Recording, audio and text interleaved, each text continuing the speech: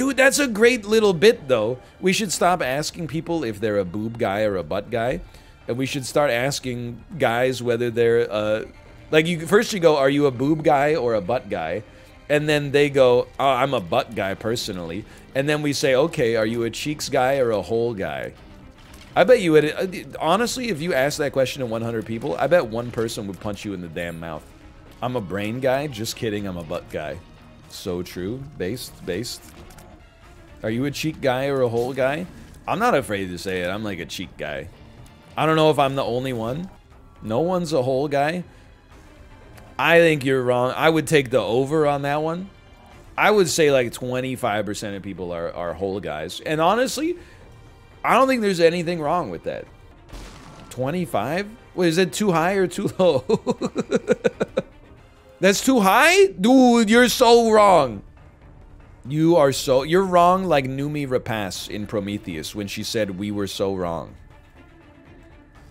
You're saying that 25% preferred the anus to the gluteus maximus? Yes. Yes, I, I think so. Poll it? Poll it? I'm not gonna poll it. I would rather... Because if we poll it, then I could be proven wrong.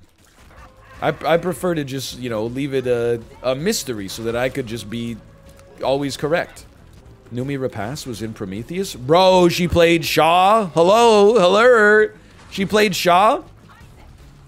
Hello? She was the female lead in the Shawshank Redemption? No, but she does get shanked. And, well, she doesn't really get redeemed because she doesn't really do anything wrong, I would say in the movie. She's mostly like the moral center of Prometheus for the most part.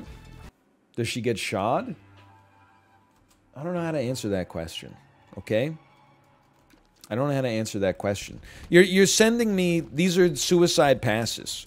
It's supposed to be like you'll set him up, I'll knock him down. You give me the easy punchline. You're giving me like it, this Harry Houdini stuff. Like how am I supposed to get myself out of this comedy straitjacket? Why doesn't Isaac have a mom's anus level?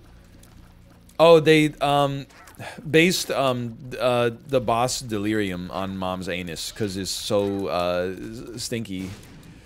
So they didn't need to give it representation with his own biome. Don't plus two this terrible.